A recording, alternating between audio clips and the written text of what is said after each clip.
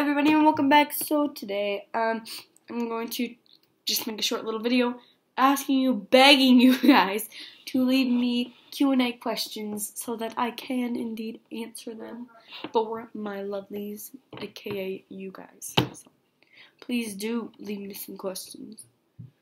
Nothing too personal, please. Thank you.